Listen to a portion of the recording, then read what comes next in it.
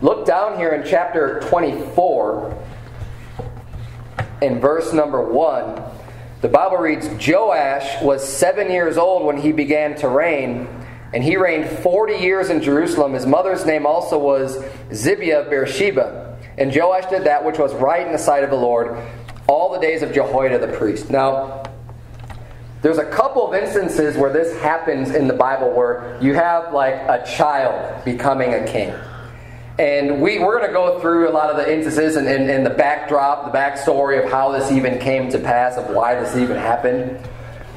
But, and just a little bit of that is this is referring to the kingdom of Judah. Okay, in the book of Chronicles, you're reading about the kings of Judah. That's um, that was the more righteous of the two nations when they had split up into Israel and Judah. Um, after after the reign of King Solomon, when Rehoboam, his son, was was reigning and ruling, he was unwise, and basically God decided to divide up the, the kingdom because of the sins of Solomon. Because when he got later on and he started making all these altars for his wives to their false gods and things like that, that really angered God, and he said, "You know what?" I'm going to rend the kingdom from you. I'm going to, I'm going to split it up. I'm going to leave a portion just because of King David's sake. Because David was a righteous man. He was a man after God's own heart. And he says, because of him, because I respect David, and I made a promise to David, I'm going to allow you to reign. And that's where the kingdom of Judah was. But the much larger kingdom, which is the vast majority of the tribes of Israel, was split up then and the, um, was given to. Um, Jeroboam, Jeroboam the son of Nebat, who did ended up doing really wickedly, but he became the king of the nation of Israel. And then on and on as you read through the book of like uh, First and Second Samuel, First and Second Kings, and you start reading, you, you go back and forth between the um, the kings of Israel and the kings of Judah. And here we are, we're in Judah, and we're we're reading here about the story of this guy Joash who was anointed to be king. He became king. So he's, he's of the household and lineage of David. And they set him up to be king when he was just seven years old. And this is kind of mind boggling to me. You think of, I have a daughter right now who's going to be seven in January.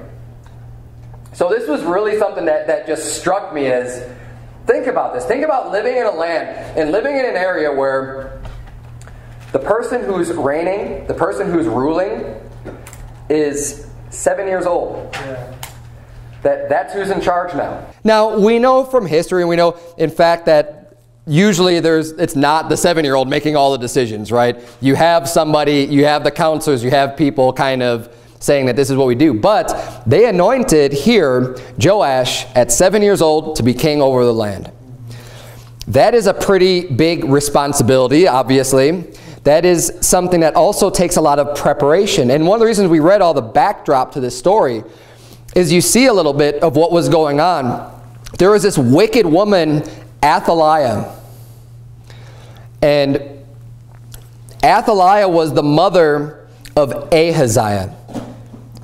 Ahaziah, and, and I know there's a lot of A names and there's a lot of names that sound real familiar and stuff, so we're going to try to get through this so you understand what's going on here. Ahaziah was the father of Joash. Joash was Ahaziah's son. Ahaziah was killed. He, was, he, he died. And this wicked woman, Athaliah, his own mother, eh, this is Ahaziah's mother, when he dies, she wants the kingdom for herself. So instead of the king, you know, the, the, the next king being one of the sons of Ahaziah, because he had many children, she was, it says here in, in 2 Chronicles 22 where we first started, in verse 10, it says, But when Athaliah, the mother of Ahaziah, saw that her son was dead, she arose and destroyed all the seed royal of the house of Judah. So she went and basically killed anybody who would have a rightful claim to the throne. She killed, I mean, that's her own grandchildren. Yeah, well, I mean, imagine the wickedness of such a woman to go and, and, and, and have the wherewithal to be able to kill your own grandchildren. But that's how, how evil and wicked she was. It says, but when Jehoshabeath, the daughter of the king, so one, and obviously she didn't have to kill the daughters because they weren't going, they weren't going to be seen as being king. You know, they weren't going to be in charge. But one of the daughters of the kings sees what's going on, and she decides to hide Joash. So she takes Joash and, and kind of hides him away so she doesn't realize that Joash is there. He's around. I don't know how she didn't know that he was alive or whatever, but he was a newborn. I mean, he was, he was just a baby at this time. And, um, you know, a lot of the kings had multiple wives and stuff too, so there might have been a child that she just didn't even know about, which is probably what happened here, and that the daughter took him as if it was her son to raise him. But that daughter, Je Jehoshabeath, was married to Jehoiada, and Jehoiada was a priest. And Jehoiada was a godly man. He was, he was a, righteous man. So now you have Jehoiada and Jehoshabeath raising up Joash and hid from Athaliah, from that wicked woman who had ended up taking over the kingdom then and began to rule and reign herself over the kingdom of Judah and hid him. And it says in verse 12, and he was with them hid in the house of God six years, and Athaliah reigned over the land. Now, the subject matter of my sermon tonight, is the title is called Raising a King. They knew, I mean, he was the only heir left. He was the rightful heir. People at this time, they knew what God had promised unto David. They knew that the household and lineage of David was, was prophesied, that, you know, that Jesus Christ ultimately was going to come of that line, but that they were the rightful heirs to that throne in Judah, and that there needed to be someone of his lineage in charge and as a king in that land. And they knew, Jehoiada knew this. Jehoiada knew that, hey, this is the last, I mean, this is, this is the last heir. He's the only one that's able to take this. So they knew from that young age they had to teach him and train him to be a king.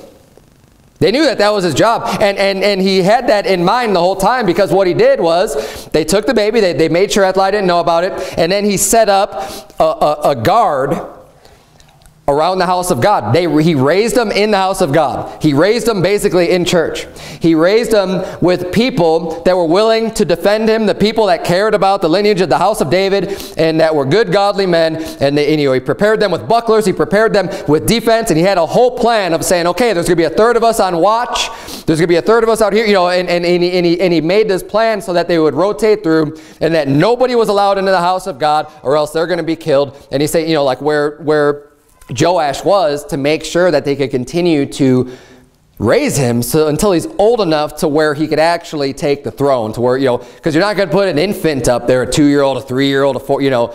They had to get it and they said okay well we could finally do this at seven to put him on the throne to begin to begin to reign. Now i just i think about that and i think about you know a lot of people have children and they struggle just to get by and they don't really give very much thought or very much effort into raising their own children and into how they're going to teach them and how they're going to train them.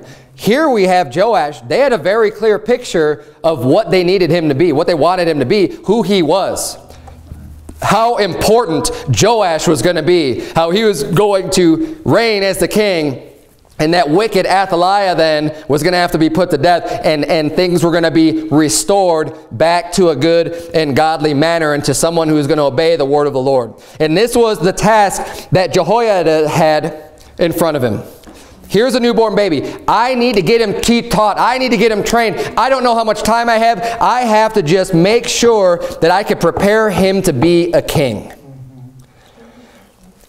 And the application I want to be able to make and keep this in mind is that we all have, you know, at least anyone who has children, not, we don't all have children, anyone who has his children, how do, important do you consider that job to be? There's a lot of people being raised and brought up in this generation who amount to nothing because their parents never thought they were going to amount to anything because they never put the time and invested in them and had a vision for their own child of how are they going to grow up. How important is this person? Are they just another person just like, oh, well, whatever. Whatever I can get to is what I'm going to get to. Or are you going to be diligent about it and instruct and teach and say, this, is, this person's important. From as, as a little baby, this child is important. Well, I'll tell you what, Joash isn't any more important than your children are. He's not. You can say, oh, yeah, but he had this job to fill. Yeah, he did, but we all have a job to fill. And God's got a job for every single one of us, and we are all extremely important in his eyes, and our children ought to be important in your eyes. Your own children ought to be someone that you can look at and say, this is worth an investment. This is something that I need to make sure that I do right. Amen. Joash, or, or Jehoiada did the very thing with Joash. And he tried his best to raise him. And he had to get him capable and ready to be a king by the time he was seven years old. What a task. I mean, think about how your perspective is going to change. See, he already had his mind, hey, this guy's got to be king. I got to get him ready. So a lot of his approach is going to be different. He's not just going to, you know, he's, he's going to make sure that he's teaching him wisdom and truth and justice and, and the things that are really important for him to be able to reign. But just because he's going to be king really shouldn't make that any different for a parent to raise their child. The, the Bible says in Proverbs 22, 6, train up a child in the way he should go, and when he is old, he will not depart from it. The training and the teaching that you give to your young children when they're young goes will last them for the rest of their life. If you do it right, the Bible says if you train up a child in the way you should go. And look, that requires work, training. I think about that word training. How are you training your child? Is, is, is your child just a burden to you or do you have a vision for your child? Do you just see them being mediocre and just fitting into society somewhere, having some lame job and just, just living and working and dying and whatever? Is that how you view your child's future? Or do you see them being something more? Do you have a great vision? Are you training them? And that, that word training is key. I remember back in when I was into a lot of sports and stuff in high school, we did training. And you wouldn't call it train if, if you know when you went to PE, when I went to gym class, that wasn't training.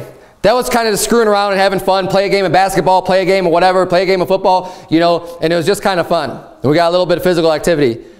In no sense of the word are you going to say we were training during PE, right? That was just kind of kind of having some fun, playing some games. When I was in sports and we were training, you knew when you were training.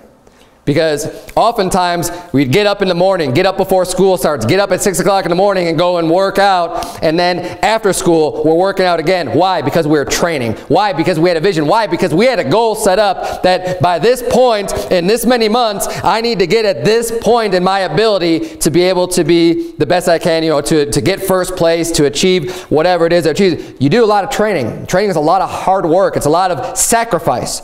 When I was in sports, you had to sacrifice doing other things after school because, no, I got to practice. No, I got to practice. No, I got to practice. You even watch what you would eat to make sure that you would be in the best physical shape that you can be in in order to achieve your goal. It requires a lot of training. So when you train up a child, guess what? It's going to take a lot of sacrifice to train a child. You're not just leaving them to their own devices. You're not popping them down. See, these days now you have the internet. Say, oh, well, I'm just going to let the internet teach my child. Oh, I'm going to drop off at school. Let them teach my child. No, if you're going to train up your child, you need to train them up. You need to invest the time in them to make sure that they're going to be taught the proper way that they should go so that when they're old, they won't depart from it.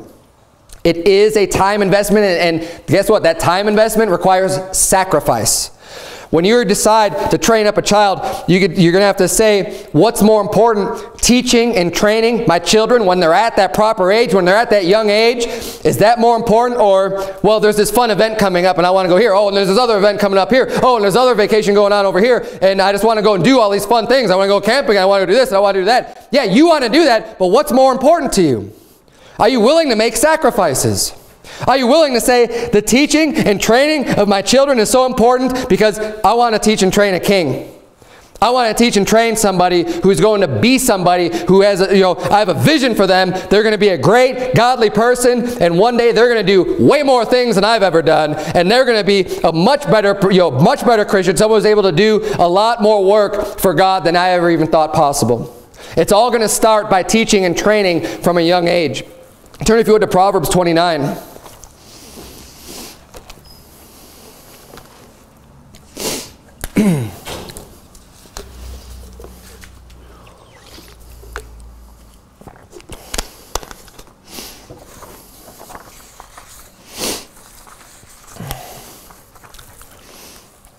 Proverbs 29, verse 17.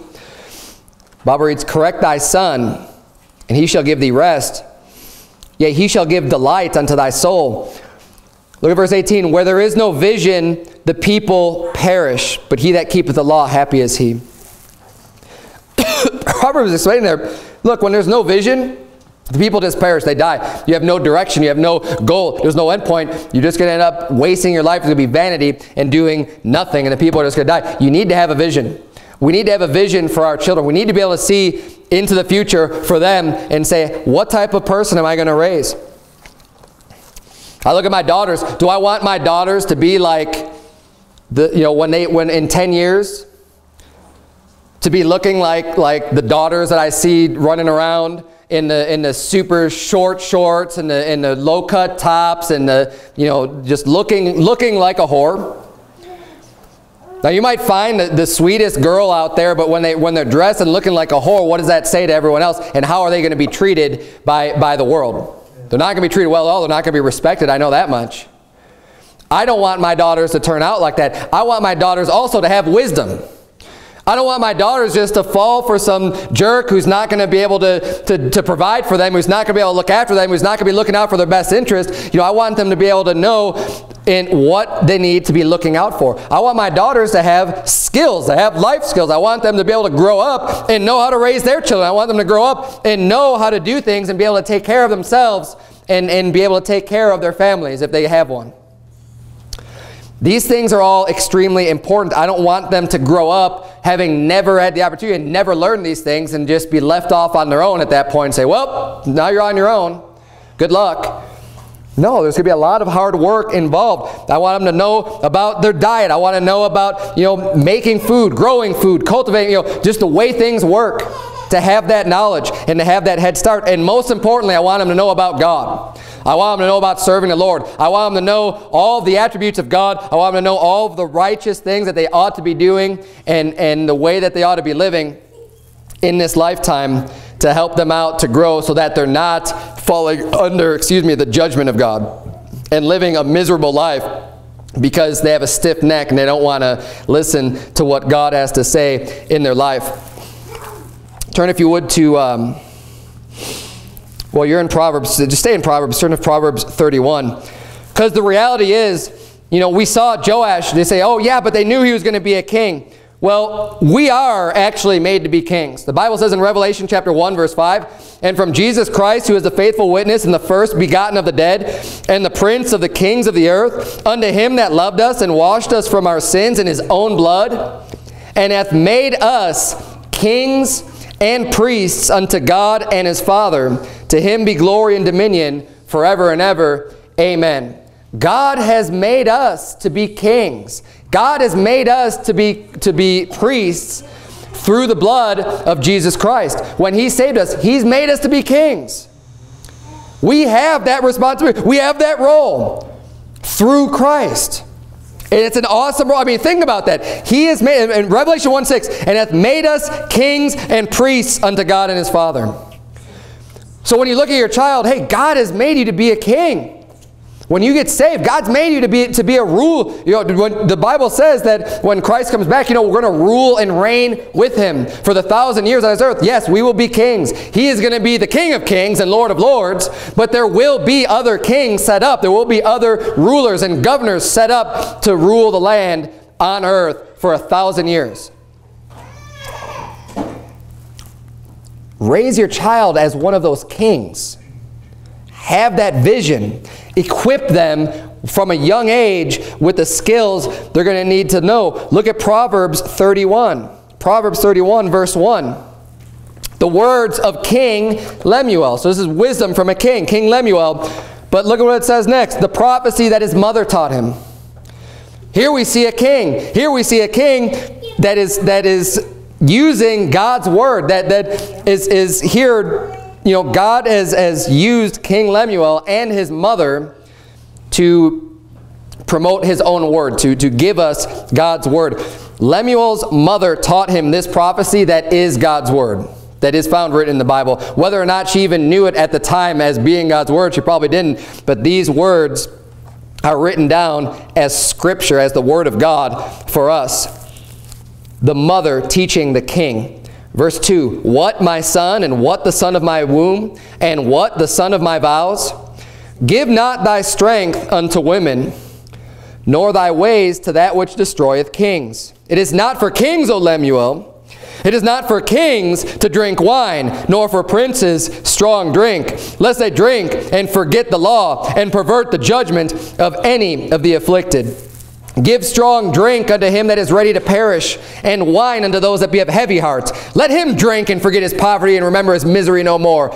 Open thy mouth for the dumb in the cause of all such as are appointed to destruction. Open thy mouth, judge righteously, and plead the cause of the poor and needy. So here we see some of the teaching that's being taught unto Lemuel as a son, right, as a child being brought up. And Lemuel now is, is passing this along in the Proverbs, saying, Look, it's not for kings, O Lemuel, to go drink, to have anything to do with alcohol, drinking alcohol. And people say, oh, no, it's okay to drink alcohol as long as you drink in moderation. Look, if you're raising your child and you're raising them to be a king, the Bible says it's not for kings to drink alcohol. Amen.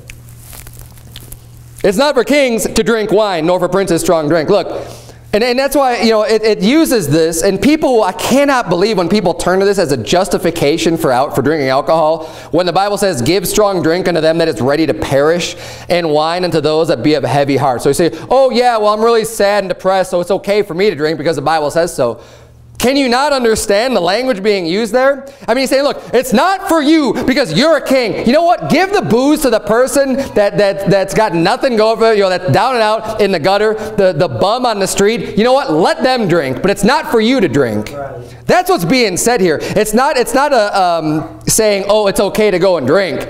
He's saying, you know what? If you're going to be anything with yourself, if you're going to make anything out of your life, don't have anything to do with alcohol. Don't drink at all. Stay away from it. Don't touch it. That's why it says in Proverbs 23, Look not thou on the wine when it is red, when it giveth its color in the cup, when it moveth itself aright, and on and on how it stings like an adder and, and it's gonna and it's poison and it's not something you do. But we we are going to get into that in the Proverbs series. Series, but these are the types of teachings that we need to be teaching our children. Look, stay away from the pitfalls. Stay, don't have anything to do with alcohol. It's not for kings to be drinking. Stay away from it. And, and you know what? Well, I've got a vision for you. You're going to be someone important. Stay away from this nonsense. Stay away from this junk.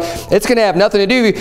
Um, it's not going to do any good for you. And besides, when people drink, the, the other thing it brings up here is that unless they drink and forget the law, because that's what's going to happen is you, you, you start indulging in alcohol, you're going to forget about your, your judgment skills go way down about what's right and what's wrong. And the things that people normally would never be doing, once they get some alcohol in them, all of a sudden now they're, they're, they're loose and, and willing to do all kinds of wickedness and sins that they never would have done had they not been drinking. It always leads people into doing stupid things, saying stupid things, and thinking and uttering perverse thoughts in their heart, and looking at strange women. I mean, that's what the Bible says that it does. And that's the truth. You pervert the judgment. And then in verse number, um, number 8, the Bible says, Open thy mouth for the dumb in the cause of all such as are appointed to destruction. Open thy mouth, judge righteously, and plead the cause of the poor and needy. Basically, look out for the, for the little people. Look out for the people who are in need. Look out for the people who are poor. Look out for the people that don't have a voice for themselves. That's who you need to be looking out for. And when you're, when you're raising a righteous individual, someone who says, you know what, you're going to be a king one day, you need to be able to look out for these people and look out for their interests and make sure they're not just trampled and forgotten because God cares about those people. Amen. And you need to be looking for them too. And we need to be teaching our children not to get caught up in the... Um, the clicks and the and the and the people, you know, the, the, popularism and and what and just worrying about people liking you and and being this politician. Because if you're going to raise a righteous king, you can't be a politician. Because a politician just want to want to please whoever is the person is putting money in their pocket or you know taking the bribes or want to please everybody and not doing good for anybody. You need to have the right principles and have the right uh, truth and wisdom in order to be able to judge righteously and, and do just that righteously, what's right. Because that's what matters is what's right. It's not how is this going to benefit me. It's not how am I going to look in the eyes of the people. It's just what is right and what is wrong. We need to make sure that our children are taught what is right and what is wrong. And the only way you could do that is from God's word. Turn, if you would, to Deuteronomy chapter 6. Deuteronomy chapter 6.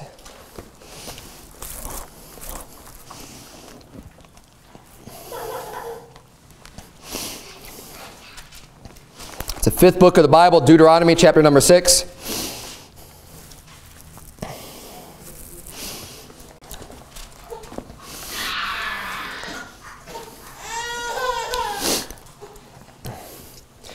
If you want to raise a king, not only do you have to teach your children, you have to teach your children diligently. Look at verse number 4 of Deuteronomy 6. Hear, O Israel, the Lord our God is one Lord. And thou shalt love the Lord thy God with all thine heart, and with all thy soul, and with all thy might. This is the great commandment, right? This is the first great commandment.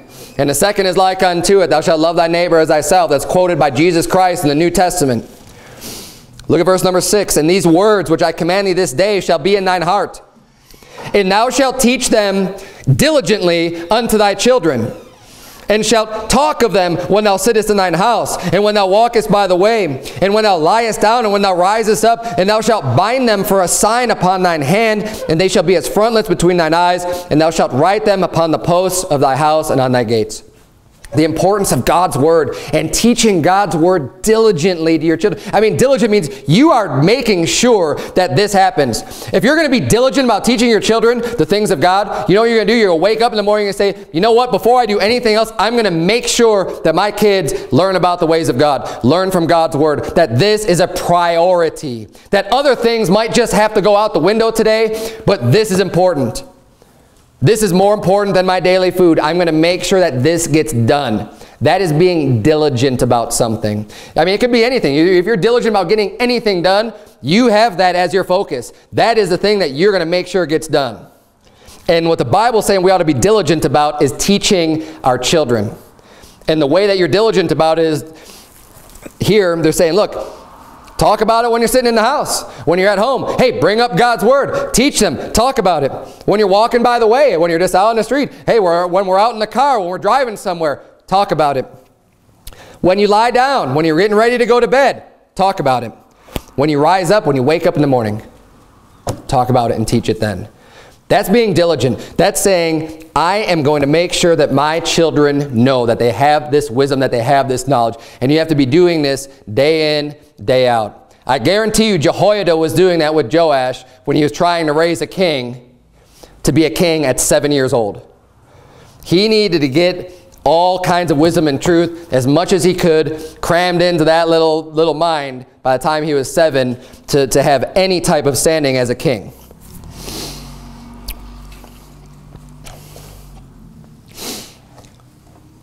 It's also why it's so important to find a godly wife. The Bible says in Proverbs 31, where we were in verse 10, who can find a virtuous woman, for her price is far above rubies. Finding the right woman to marry, finding the right woman to be the, the, the um, mother of your children is extremely important. And ladies, you know, if you're already married, be that virtuous woman. Be the one that's going, because honestly, the, the women have much more, a much larger role in the teaching and training of the children because God's role has been given to the man to be working and to providing for the family while the woman is a keeper at home and willing and, and, and there to, to raise the children and, and keep the house in order. And the virtuous woman is going to be diligent about teaching her children. Now, I'm not saying the father has no role in this, because of course the father does. Ultimately, as the head of the household, dad's in charge of the whole thing, of making sure that everything gets done. The buck stops with dad. You got to make sure that it all gets done. But a godly wife is going to be a major help and is going to be relieve some of that that you know that that um, responsibility or, or the yeah the responsibility of making sure that the children are taught if you have a godly wife, and that's why her, her, she's so valuable. So when your wife is going to have this big of an influence on how the children are taught, you know, single men don't just be looking for the outward beauty. Don't just be looking for the most attractive woman that you could find because the outward beauty is not going to raise kings. Right. At all. If you're looking for someone to be a mother of your children, look for someone who has the inner beauty. Look for someone who has, and you know, hey, if they're outwardly beauty, great. I'm not saying don't be attracted to, you know, find someone you're not attracted to, but, but don't be looking for this, you know, supermodel, whatever, you know, whatever you have in your mind is just this is what, I'm, what I think is important is just this outward beauty because it's not important. The beauty fades away. It vanishes. It's going to be gone and it's going to be nothing. If you marry someone who's just outwardly has the most physically attractive look to you that you've ever seen in your life, but has no clue about anything, no clue about the Bible, no clue about God, is that really who you want to leave at home then, raising your children, teaching them how to grow up and be successful and be, and be good children of God? I mean, that's not who I would want. Turn it back, if you would, to Second Chronicles 21. Because Joash was basically raised by his sister and her husband. That's who it was. His own sister and his sister's husband, so his brother-in-law, Jehoiada the priest. Jehoiada was definitely the positive influence on his life. He made the right choices. The Bible says that Joash made all the right, he did the right thing. He did right in the eyes of the Lord as long as Jehoiada was alive. So as long as he had him to rely on. And I'm not going to go into all the reasons and the problems that Joash had after Jehoiada died because that's kind of a whole separate subject. But um, the problems in that family actually started with Jehoshaphat. And this is really interesting because Jehoshaphat the Bible says Jehoshaphat was, was a good king. I mean, he was a godly man. He did a lot of things that were right and pleasing in the sight of the Lord. He, he, he, he followed God and got the people to follow God, and his heart was right with God, and he did so many right things. But the major mistake that he made was he married into the family of the wicked king of Israel, Ahab's family he married one of the daughters of Ahab. Ahab was a, you know, was one of extremely wicked king of Israel.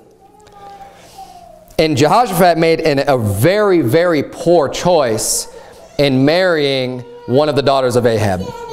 Because the Bible says that when he joined affinity with Ahab. That means he became, you know, son-in-law to Ahab and, and, and became related to him through marriage. You're in Second Chronicles 21. Look at verse number 3.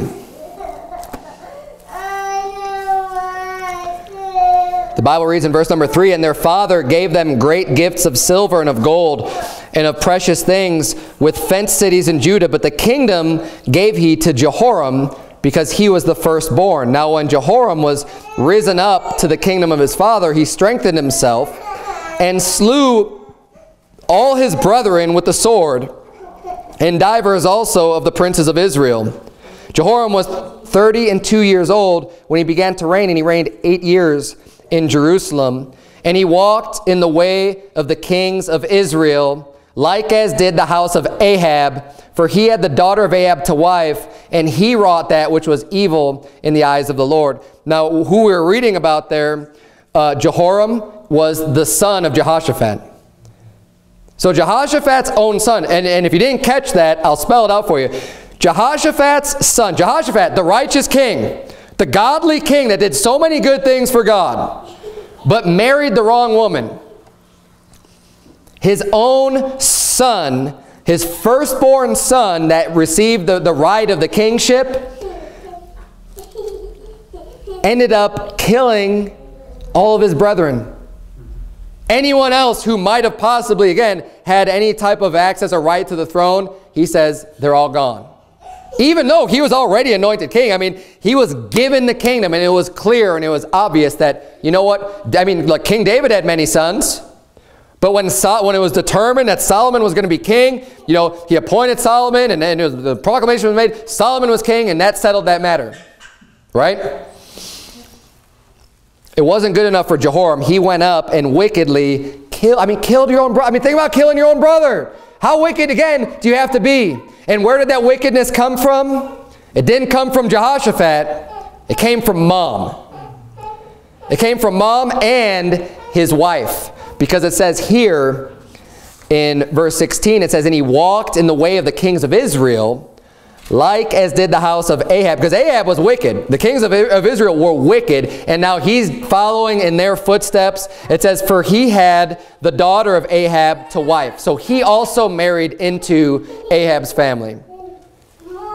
And he wrought that which was evil in the eyes of the Lord. Now, why would he think it's okay to marry into the house of Ahab, into that wicked family? Well, dad did it, right? Here's dad. He married it. It must be fine for me to do the same thing instead of holding the right standard. And he turned out to be extremely wicked.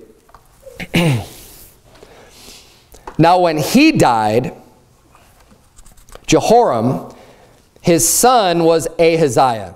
And that's who we started off reading about. Ahaziah reigned. And Ahaziah's mother was Athaliah. And it says here Athaliah was the daughter of Omri. And Omri was Ahab's father. And oftentimes when they'll say, you know, the daughter of Omri, it really could be the daughter of Ahab. Also, it's just they went up an, another level in, their, in the genealogy. But it's still the same wicked family that, uh, that Athaliah was from. And Athaliah is the one who killed all her grandchildren.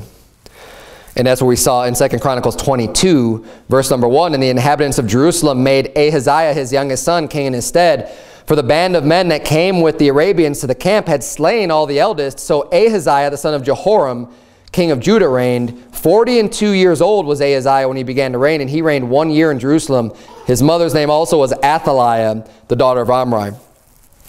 And Ahaziah did wickedly as his own mother had taught him. I mean, she was wicked herself. It's surprising she didn't even kill her own son when she killed all of her grandchildren too. But in verse 3 it says, He also walked in the ways of the house of Ahab, for his mother was his counselor to do wicked, to do wickedly. Athaliah was extremely wicked. She, she went, uh, we went over this, how she killed all the seed royal and um, anyone else who would have had right to the throne. And this is where then the cycle of this, you know, these wicked people finally like stops. There's, there's, there's some form of an end put into this because it's just one after the other after the other. You know, they just keep on doing, you know, the one's killing his own brothers and then, you know, the other one's got his mom killing, killing his own children.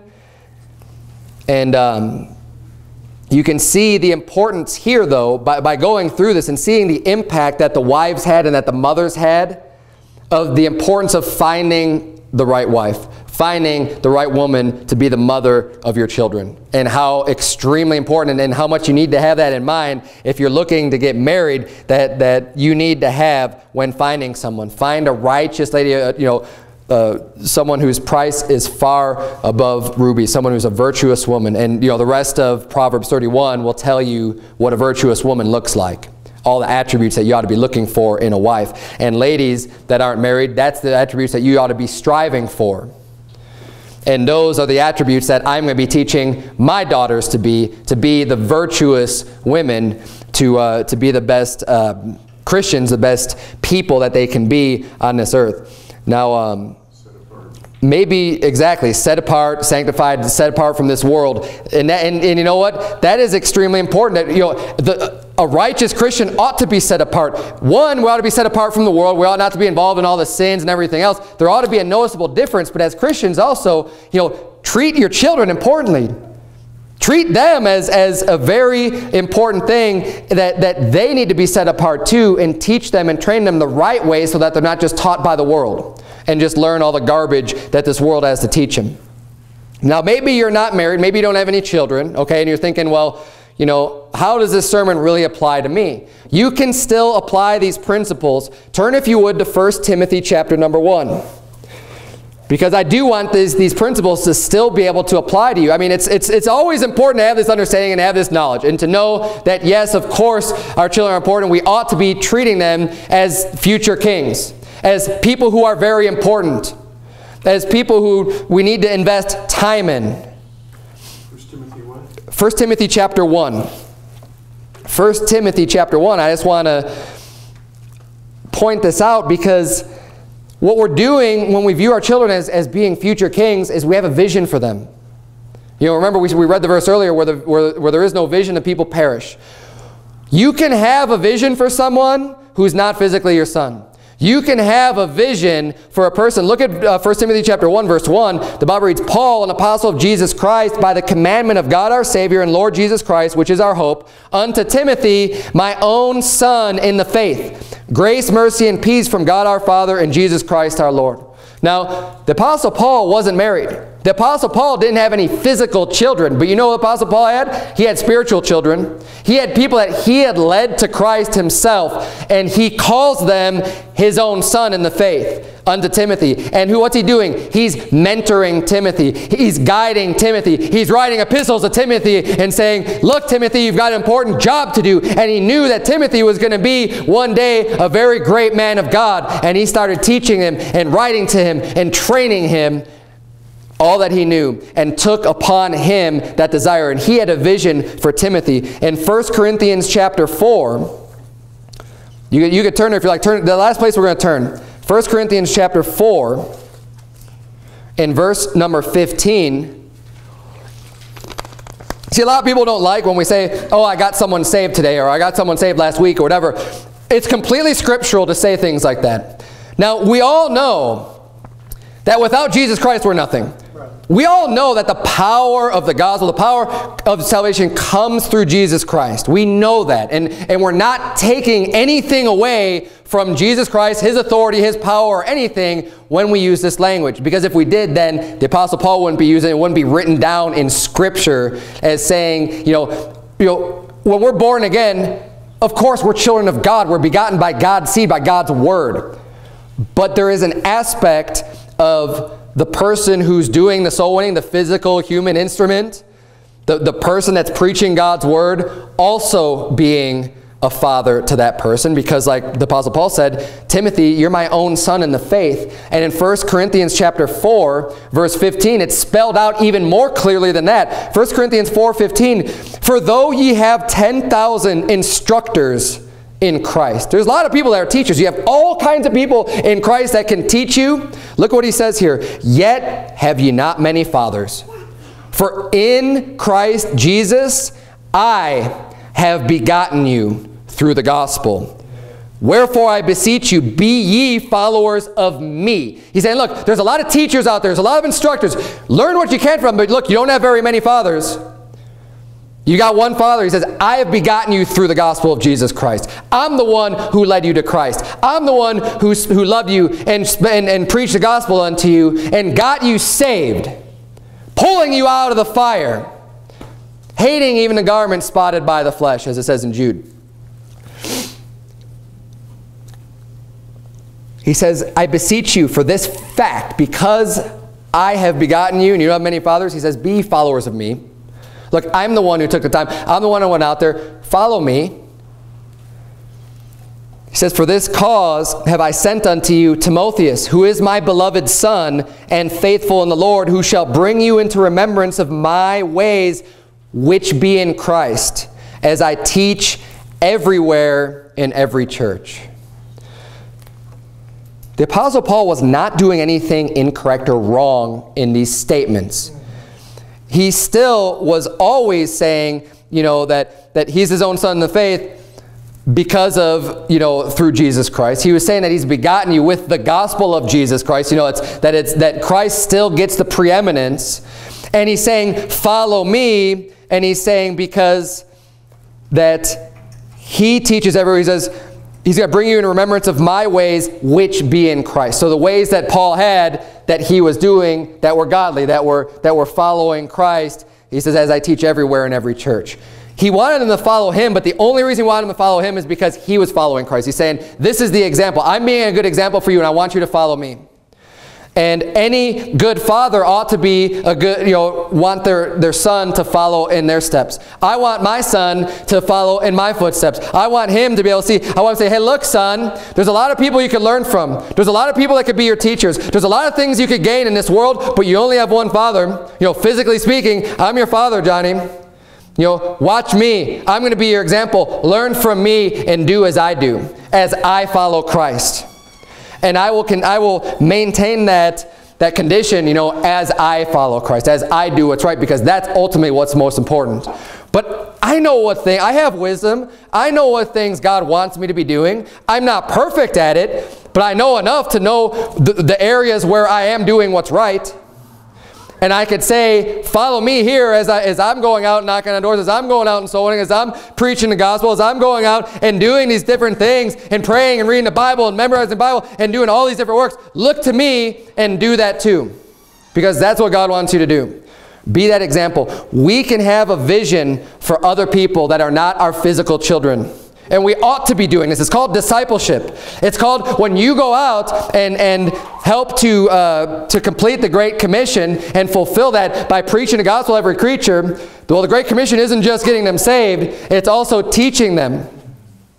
You become their spiritual father. You become their spiritual parent. And you ought to treat them as such. You ought to treat them like a newborn babe in Christ because that's what they are once they get saved. When they receive Christ, they become a newborn babe.